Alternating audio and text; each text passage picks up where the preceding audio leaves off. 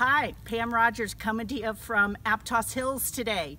I'm standing in front of one of my favorite listings. It's 565 Emerald City Way. It is located on two and a quarter acres at the end of a private cul-de-sac. It's absolutely stunning inside, three bedroom, three bath, a little bit under 3,000 square feet.